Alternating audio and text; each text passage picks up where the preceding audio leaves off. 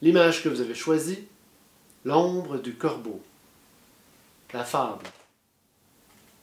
Le corbeau passe devant le soleil et regarde son ombre sur le sol. Pendant qu'il tourne en rond, il se demande ce qui peut produire cette masse sombre qui le poursuit sans cesse. La thématique de l'image. Pour comprendre le paradoxe de l'ombre et de la lumière, il ne faut pas considérer les deux phénomènes comme opposés.